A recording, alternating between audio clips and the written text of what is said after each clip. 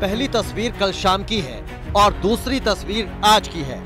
कल योगी ने शाम को प्रयागराज मंडल के विधायक और सांसदों के साथ मीटिंग की तो आज सुबह उन्होंने लखनऊ मंडल के विधायक और सांसदों के साथ समीक्षा की।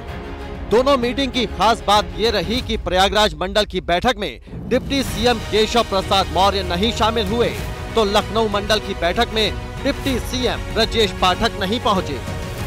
एबीपी न्यूज़ के पास वो चिट्ठी मौजूद है, जिससे इस बात की पुष्टि होती है कि आज की बैठक के लिए डिप्टी सीएम ब्रजेश पाठक को बुलाया गया था। एबीपी न्यूज़ के रिपोर्टर संजय त्रिपाठी ने बैठक में पहुँचे विधायकों से बात की तो सुनिए उन्होंने क्या कहा। किन विषयों पर चर्चा होनी है?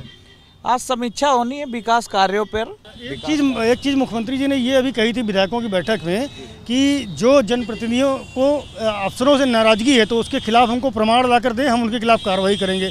तो प्रमाण जुटा रहे हैं? जिनका प्रमाण होगा वो देंगे। हमारी तो भाई पूरे सुन रहे हैं। प्रयागराज मंडल की बैठक थी केशव मौर्य नहीं थे आज लखनऊ मंडल की है ब्रजेश पाठक भी नहीं पहुँच रहे हो सकता है उनको कोई कार्य में व्यस्त हो किसी ज़िम्मेदारी दी गई हो। माहौली से विधायक शशांक त्रिवेदी भी मुख्यमंत्री आवास पर पहुँच रहे हैं। विधायक जी किन विषयों को लेकर के आज मुख्यमंत्री से बात करेंगे? अधिकारियों से जो सामंजस्य नहीं है ये सब देखने के लिए बाकी हम लोगों को अगर कोई दिक्कत है परेशानी है अधिकारियों को कोई बात है तो वो सब एक दूसरे से बैठ के मिल तो साक्ष्य जुटाएँगे आप लोग? अरे साक्ष्य तो होते ही हैं। अगर मान लीजिए गलत करेगा तो साक्ष्य कहाँ छिप सकते हैं? सीएम की बैठक से दूरी बनाकर चल रहे दोनों डिप्टी सीएम कल दिल्ली में होने वाली नीति आयोग की गवर्निंग काउंसिल की बैठक में शामिल होंगे। इससे पहले 14 जुलाई को लखनऊ में हुई प्रदेश कार्य समिति की बैठक में जेपी नड्डा जब पहुँचे थे, तब सभी नेता मौजूद थे। इसी बैठक में केशव प्रसाद मौर्य ने संगठन वर्सेस सरकार वाला बयान दिया था। संगठन सरकार से बड़ा है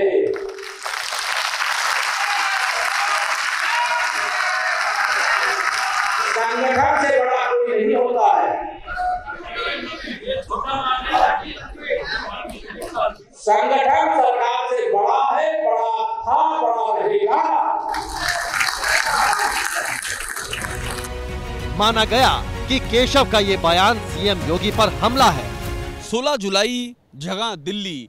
डिप्टी सीएम केशव मौर्य ने बीजेपी के राष्ट्रीय अध्यक्ष जेपी नड्डा से मुलाकात की। इस मुलाकात में यूपी के सियासी हालात की चर्चा की।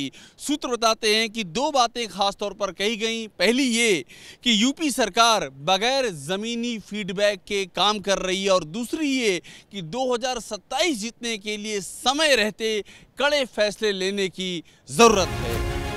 इसके बाद पॉलिटिकल कॉरिडोर में इस बात की चर्चा तेज हो गई कि बीजेपी के अंदर सब ठीक नहीं चल रहा है। हमले का मौका विपक्ष को भी मिल गया। कुछ लोग मोहरा बन गए हैं। वो मोहरा हैं। दिल्ली के वाईफाई के वो पासवर्ड हैं।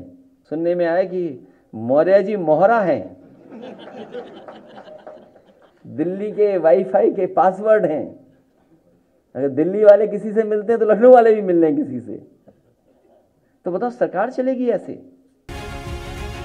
अखिलेश को जवाब देने के लिए केशव प्रसाद मौर्य सोशल मीडिया पर आए और लिखा, कांग्रेस का मोहरा बन चुके सपा बहादुर श्री अखिलेश यादव जी, भाजपा को लेकर गलत फहमी पालने, अति पिछड़ों को निशाना बनाने, अपमान करने की जगह सपा को समाप्त होने से बचाने पर ध्यान दें।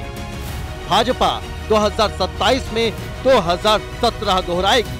कमल खिला है खिलेगा, खिलता रहेगा।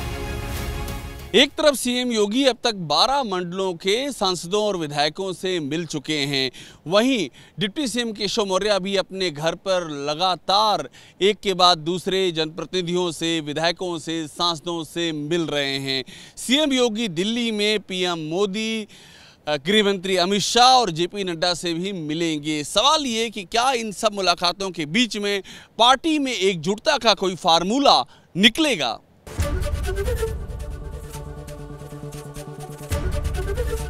एबीपी गंगा, खबर आपकी जुबा आपकी।